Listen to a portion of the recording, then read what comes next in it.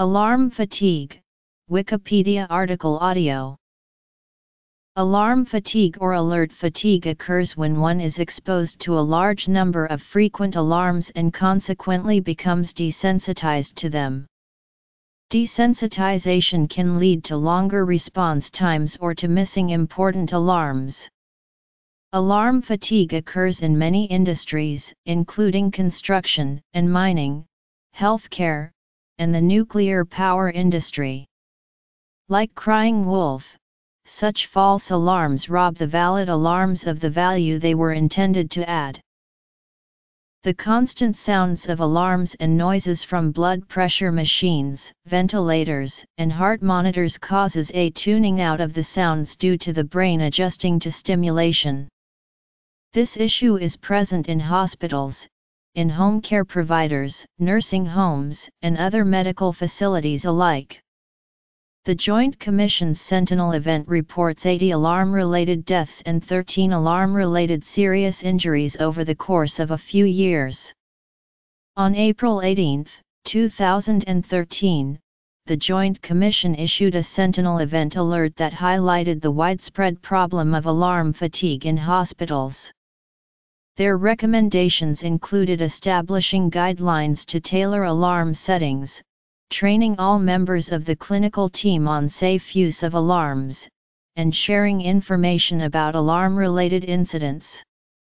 This alert resulted in designation in 2014 of clinical alarm system safety as a national patient safety goal and it remains a goal in 2017. This goal will force hospitals to establish alarm safety as a priority, identify the most important alarms, and establish policies to manage alarms by January 2016. ECRI Institute has listed alarms on its top 10 hazards list since 2007. In 2014, alarms was listed as the number one hazard. In healthcare, unintended outcomes of alarms. The large number of alarms, especially of false alarms, has led to several unintended outcomes. Some consequences are disruption in patient care, desensitization to alarms, anxiety in hospital staff and patients, sleep deprivation and depressed immune systems, misuse of monitor equipment, and missed critical events. Some additional outcomes include workload increase, interference with communication, wasted time, patient dissatisfaction, and unnecessary investigations, referrals, or treatments. There are many solutions proposed to reduce alarm fatigue in healthcare settings.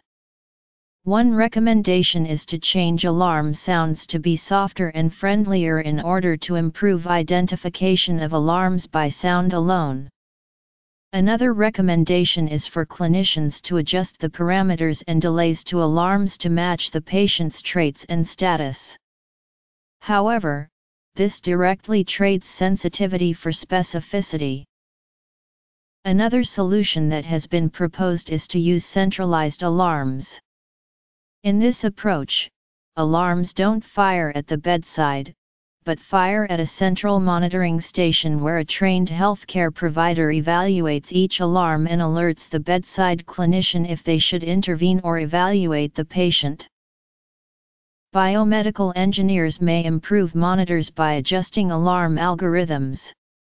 Currently, the alarm systems are very sensitive but not specific. This leads to a large amount of false alarms.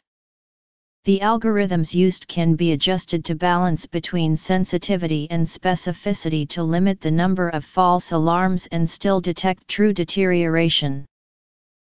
Solutions Changing alarm sounds and parameters. Centralized alarms. Changing alarm algorithms.